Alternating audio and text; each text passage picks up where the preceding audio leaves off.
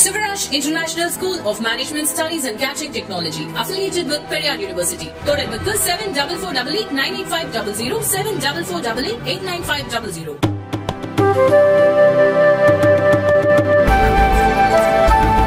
ஒவ்வொரு ஆண்டும் ஜனவரி ஒன்றாம் தேதியை தகுதி ஏற்படுத்தும் நாளாக வைத்து வாக்காளர் பட்டியல் திருத்த பணி நடைபெறுவது முன்பு வழக்கமாக இருந்தது. ஆனால் தற்போது ஜனவரி ஒன்று ஏப்ரல் ஒன்று ஜூலை ஒன்று அக்டோபர் ஒன்று ஆகிய நாட்களை தகுதி ஏற்படுத்தும் நாளாக வைத்து புதிய வாக்காளர் பெயர்களை வாக்காளர் பட்டியலில் சேர்க்க தேர்தல் ஆணையம் உத்தரவிட்டுள்ளது. அதன் வரிசையில் கடந்த ஏப்ரல் ஒன்றாம் தேதியை தகுதி ஏற்படுத்தும் நாளாக வைத்து கடந்த ஜனவரி ஐந்து முதல் வாக்காளர் பட்டியலில் பெயர் சேர்க்க நீக்க திருத்த இடமாற்றம் செய்ய விண்ணப்பங்கள் பெறப்பட்டன. அதன்படி நேற்று வரை ஒரு லட்சத்து இருபத்து மூன்றாயிரத்து அறுபத்து நான்கு பெயர்கள் புதிதாக சேர்க்கப்பட்டுள்ளதாகவும் ஐம்பத்து ஓராயிரத்து இருநூற்று தொன்னூற்றி ஐந்து வாக்காளர்களின் முகவரி மாற்றப்பட்டுள்ளதாகவும் தெரிவிக்கப்பட்டுள்ளது. மேலும் இடப்பெயர்ச்சி இறப்பு இரட்டை பதிவு போன்ற காரணங்களுக்காக மூன்றே மாதத்தில் ஒன்பது லட்சத்து பதினோராயிரத்து எண்ணூற்று இருபது வாக்காளர்களின் பெயர்கள் நீக்கப்பட்டுள்ளதாகவும் தகவல் வெளியாகியுள்ளது. தற்போது தமிழகத்தில் மூன்று புள்ளி பூஜ்ஜியம் ஒன்று கோடி ஆண்கள் மூன்று புள்ளி ஒன்று ஒன்று ஒன்று கோடி பெண்கள் ஏழாயிரத்து தொள்ளாயிரத்து எழுபத்து ஒன்பது மூன்றாம் பாலினத்தவர் என மொத்தமாக ஆறு புள்ளி ஒன்று இரண்டு கோடி வாக்காளர்கள் உள்ளனர். கடந்த ஜனவரி மாதம் வெளியிடப்பட்ட பட்டியலுடன் ஒப்பிடுகையில் வாக்காளர்கள் எண்ணிக்கை ஆறு புள்ளி இரண்டு பூஜ்ஜியம் கோடியில் இருந்து ஆறு புள்ளி